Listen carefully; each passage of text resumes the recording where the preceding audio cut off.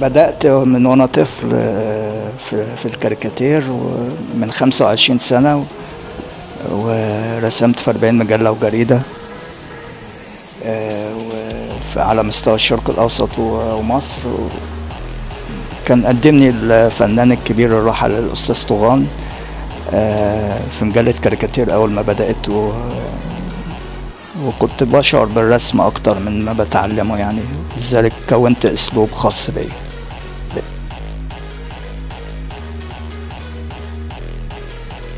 بلون آه، ألوان كمبيوتر وبرسم على شاشة التابلت بمهارة يعني آه، ده اللي بتميز بيه يعني اللي ميزني ربنا بيه. ساعات بيبقى في إسقاطات على البشر من خلال حيوانات في الكاريكاتير يعني الحيوانات بيكلموا بعض بس في إسقاط على البشر كأنهم هم بيعيشوا واقع ال- البشر.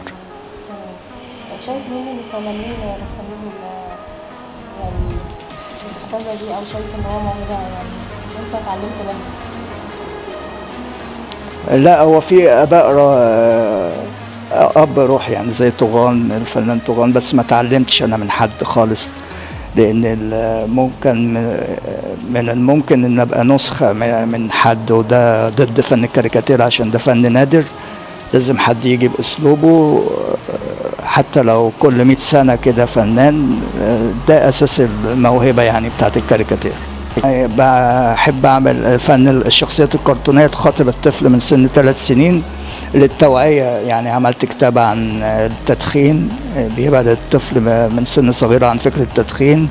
كتاب بطل ودب كده عن ترشيد المياه ونظافة المياه. وده الشخصيات الكرتونية يعني م- متعلقة بالطفل ويعني العلم في الصغر كالنقش على الحجر ولازم من خلال شخصية كرتونية تع- نعلم الطفل.